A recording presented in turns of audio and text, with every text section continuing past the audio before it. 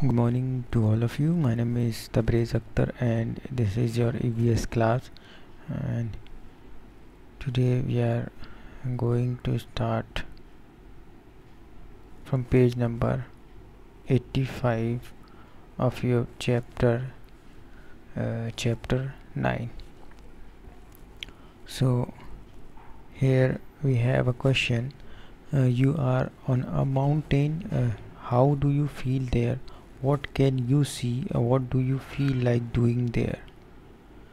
तो अगर आप माउंटेन में हैं, आप समझ लीजिए कि आप माउंटेन में हैं तो आप वहाँ कैसा फील करेंगे और आप वहाँ पे व्हाट कैन यू सी और वहाँ क्या देख सकते हैं तो ये सारा एक्सपीरियंस अपने आप को ये फील करके बताना है कि आप एक माउंटेन में हैं। सो अगर आप किसी माउंटेन में होगे तो आपको बहुत एक्साइटेड फील होगा, आपको बहुत मज़ा भी आएगा। अगर आप एडवेंचरस या कुछ करने की कोशिश, या कुछ करने का फीलिंग रखते हो, या आपको एडवेंचर लाइफ पसंद है तो आपको वहाँ पे बहुत मज़ा आएगा। ठीक है? और फिर उसके बाद वहाँ पे आपको बहुत सारी चीज़ें आप वहाँ बहुत सारी चीज़ें भी करना चाहोगे लाइक आप वहाँ पे आप कैंपिंग करना चाहोगे और कैंपिंग करना भी पड़ेगा क्योंकि अगर माउंटेन में होगे तो आपको वहाँ जब ऊपर जाएँगे, नीचे जाएँगे तो कुछ नेसेसरी थिंग्स होती है जिसको करना ज़रूरी होता है। अगर आपको वहाँ रुकना है तो कैंपिंग करना पड़ेगा, फिर वहाँ फ़ूड का अरेंजमेंट करना पड़ेगा तो ये सारी चीज़ें आप वहाँ पे करेंगे, ठीक है? तो और ये इन सारी चीज़ों में भी मज़ा आता है, ठीक है? तो ये इमेजिनेशन वाला क्वेश्चन है तो ये सबकी अलग अलग फीलिंग हो सकती है तो अपनी फीलिंग आप शेयर कीजिए, ठीक है? Alone on the mountain top A 12 year old girl living in a mountain was out on a school picnic. She climbed a mountain peak of 4000 meter with her friends. ठीक है, एक 12 साल की लड़की जो एक पिकनिक पर आती है और वो माउंटेन पे चढ़ जाती है, कितने ऊँचे चढ़ जाती है 4000 मीटर्स ऊंचाई तक चढ़ जाती है अपने दोस्तों के साथ the girl had done this for fun and adventurous ये तो लड़की जो इतनी ऊंचाई तक चढ़ती है, वो सिर्फ़ मज़े के लिए चढ़ती है, कोई उसको कोई टास्क नहीं दिया जाता, वो सिर्फ़ मज़े के लिए इतनी ऊपर तक चढ़ जाती है। Soon it was dark and they could not come down और एक एक बार अंधेरा हो जाता है तो वो वापस नहीं आ पाती। It was also cold and scary there alone without any food और वहाँ ठंड भी लगती है और वहाँ पे उसके पास कोई खाना भी नहीं होता। इट वॉज़ लॉन्ग नाइट और बहुत लंबी रात होती है। तो वो बहुत लंबी रात में एक बार क्या हुआ था कि वो घूम गई थी, नीचे नहीं आ पाई थी और बहुत ठंड का और डर का सामना करना पड़ा था। ये किसके साथ हुआ था? ये हुआ था बछेंद्री पाल के साथ। Played one she was a young girl. जब वो एक छोटी लड़की थी तब Bachendri grew up in Nakuri village in गहर घरवाल एरिया ऑफ़ उत्तराखंड। उत्तराखंड के घरवाल एरिया में नाकोरी विलेज में बछिंद्री का जन्म हुआ था। When she grew older she join Nehru Institute जब वो बड़ी होती है तो वो ज्वाइन करती है Nehru Institute of Uttarkashi. And her guide was brigadier Gyan Singh brigadier ज्ञान सिंह क्या होते हैं? उनके टीचर होते हैं, उनके गाइड होते हैं। And Bachendri did very well in her training और अपनी ट्रेनिंग में वो बहुत अच्छा करती थी। She started to train women in mountaineering course और उसने वुमेन को माउंटेनियरिंग कोर्स में ट्रेनिंग देने ट्रेनिंग स्टार्ट की देने के लिए, एक ट्रेनिंग स्टार्ट की। And in 1984 Bachendri was selected as a team member to climb the Mount Everest और 1984 में उसका सिलेक्शन हुआ माउंट एवरेस्ट में चढ़ने वाली टीम में। ठीक है? स्नो स्टॉम ठीक है? There were seven women in 18 member team on night of fifteen में तो 15 मई की रात को 18 वुमेन थी 18 औरतें थी, लड़कियाँ थी, जिनको चढ़ने का मौका मिला था और वो चढ़ रही थी माउंटेन में। ऑन द नाइट ऑफ़ 15 में क्या हुआ कि 15 मई की रात को the team was very tired after having reach the height of 7300 तो 7300 मीटर्स चढ़ने के बाद वो जो टीम थी, इतनी वुमेन की टीम थी 18 वुमेन की, वो थक गए थे और वो आराम करना चाहते थे और उन्होंने इसीलिए अपने टेंट तैयार किए और वो लोग आराम करने लगे। Around midnight they heard a loud sound and then bang और रात में उन्होंने बहुत तेज़ आवाज़ सुनी और उसके बाद ज़ोर से ऐसा लगा कि कुछ आवाज़ आई। ठीक है, उसके बाद before they were carefully were fully awake the tent flew off and something very heavy hit them और जब उनकी नींद खुली तो उनकी टेंट जो था वो उड़ चुका था। और कुछ भारी चीज़ उनको आके लगी। There was a terrible snow storm तो वो क्या था? उस वक्त वो क्या हो रहा था? वो एक स्टॉम आया था, एक स्नो स्टॉम एक तूफ़ान, समझ लो, बर्फ़ का तूफ़ान।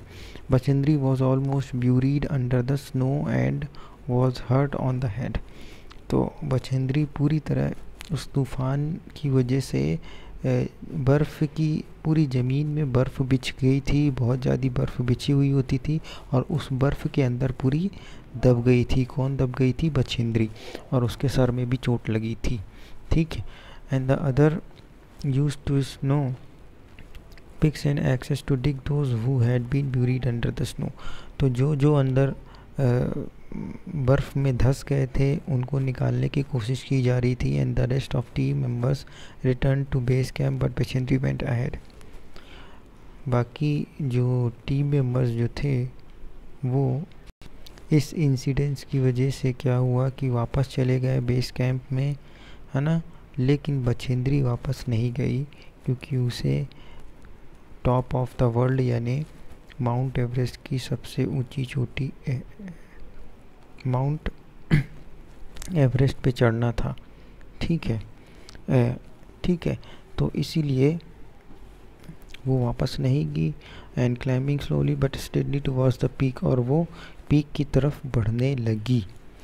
It was seven minutes pass one o'clock in the afternoon of twenty third May when Bachendri Pal stepped into the peak of 8900 meter तो it was 7 minutes past 1 o'clock in afternoon ठीक है तो एक बज के सात मिनट हो गए थे तेईस मई की बात थी जब बछिंद्री पाल ने पीक ऑफ़ 8900 मीटर्स यानी 8900 मीटर्स की पीक पे उसने चढ़ाई कर ली और उस जगह तक पहुँच गई। यानी high Mount Everest also called Sagarmatha in Nepal. तो माउंट एवरेस्ट की ऊँची चोटी पे वो पहुँच चुकी थी, जो सबसे ऊँची चोटी कहलाती है, और उसे सगरमथा भी कहते हैं नेपाल में। तो वहाँ पे वो पहुँच गई थी ट्वेंटी थर्ड मे को। ठीक है। And there was another team member with her. There was no space for two people to stand on the top at the same time. तो उसके साथ एक और टीम मेंबर भी थी, लेकिन उस चोटी पे चढ़ने के लिए इतनी जगह नहीं होती थी कि बाकी दो लोग भी चढ़ सके या तीन लोग चढ़ सके इसीलिए वो खड़ी हुई थी one slip and they would fall straight down thousand formally in the ice अगर ज़रा सी भी गलती हो जाए और स्लिप हो जाए कोई तो सीधे नीचे आके गिरेगा। थाउजेंड्स मीटर डाउन बहुत नीचे, हज़ारों मीटर डाउन वो गिरता जाएगा नीचे और हो सकता है बहुत चोट लगे। इवन डेथ भी हो सकती है अगर वहाँ से कोई गिरा तो। Bachendri and her team mate dug into the snow and pitches their axes firmly in the ice using this as a hook they tied them self to it with a rope ठीक है तो उन्होंने अपनी रस्सी वस्सी चारों तरफ़ बाँध के अपने आप को मजबूती से पकड़ा और वहाँ पे खड़ा किया, जहाँ पे जो सबसे ऊँचू सबसे ऊँची जो चोटी कहलाती है, वहाँ पे खड़ा किया अपने आप को।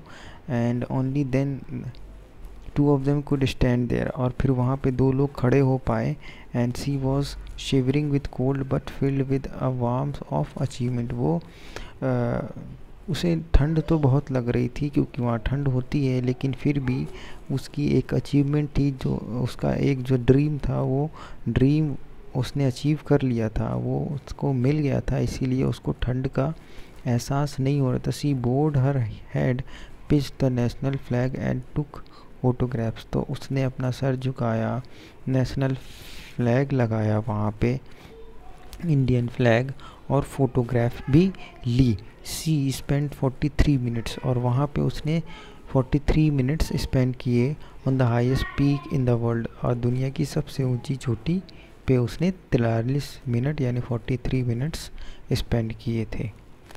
Bachendri Pal become the first Indian women the fifth and first women in the world to reach the peak of Mount Everest तो माउंट एवरेस्ट की पीक पर पहुँचने वाली बछेंद्री पाल इंडिया की फ़र्स्ट वुमेन थी और वर्ल्ड की फिफ्थ वुमेन थी जिसने माउंट एवरेस्ट की पीक पर पहुँचा, पहुँची थी जो। Next page an eighty six page think Why did Bachindri put up uh, the Indian flag on the peak?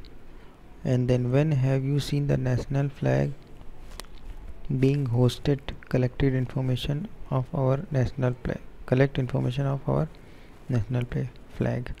Make groups of three to eight children design a flag. Have you seen the flag of any other countries? and explain uh, why it can be adventurous and challenging to climb on a mountain how would you prepare if you were to climb a mountain? What uh, would you take with you? Write in your own words. So these are some questions of page number 86 let's find out and let's see the answer of the questions. So why did Bachindri Pal put up the Indian flag on the peak Bachendri ने peak पे Indian flag क्यों लगाया? बचेंद्री ने, Bachendri Pal put up the Indian flag on the peak to honour our country ठीक है?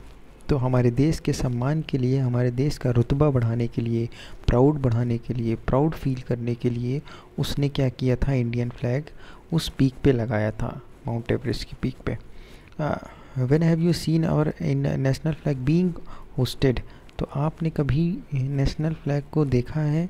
Host करते हुए यानी उसको फहराते हुए देखा है? During the Independence Day and the Republic Day celebration we have seen the national flag being hoisted ठीक है तो इंडिपेंडेंस डे और रिपब्लिक डे के टाइम पे आपने देखा है। Have you seen the flag of any other country where yes I have seen the flag of many uh, other countries I have seen on tv and internet.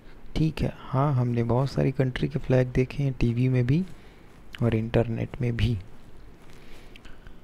Explain why it can be adventurous and challenging to climb a mountain तो mountain को चढ़ने में क्यों ये challenging होता है और adventure adventurous होता है, इसके लिए बताना है। तो mountain offers may many challenges like high altitude rough surface and rare air तो माउंटेन में चढ़ने में बहुत सारी डिफ़िकल्टीज़ होती हैं, बहुत सारे चैलेंजेस होते हैं, जैसे कि हाई एल्टीट्यूड होता है, यानी ऊंचाई होती है रफ सरफेस होती है, यानी ऊबड़ खाबड़ जो है तो रास्ते होते हैं और रेयर एयर होती है, यानी पे, यानी ऊपर जाने पे माउंटेन पे जाने पे थोड़ा सा ब्रीथिंग में सांस लेने में प्रॉब्लम होती है। तो ये सारे डिफ़िकल्टीज़ होती है due to such difficulties climbing a mountain is adventurous and challenging तो इस सारी डिफ़िकल्टीज़ की वजह से ही माउंटेन को क्लाइंब करना एक चैलेंजिंग टास्क भी होता है और एडवेंचरस भी होता है। If you were to climb a mountain what would you take with you अगर आपको माउंटेन चढ़ना पड़े तो आप क्या क्या लेके जाएँगे? Yes I will take all the mountaineering equipment हाँ मैं बहुत सारी माउंटेनियरिंग इक्विपमेंट लेके जाऊँगा, जिसकी ज़रूरत होती है। जैसे कि आपने पढ़ा था हुक पढ़ा था पिटन्स पढ़ा था, ठीक है? तो ये सारी चीज़ें लेके जाएँगे एक्स लेके जाएँगे हुँ? और रोप ले लेके जाएँगे, और साथ में नेसेसरी फ़ूड लेके जाएँगे मेडिसिन लेके जाएँगे, और साथ ही साथ ऑक्सीजन सिलेंडर भी लेके जाएँगे तो these were questions of your chapter number nine and your homework is to complete all the question in your fair copy and send them to me on Saturday. Thank you.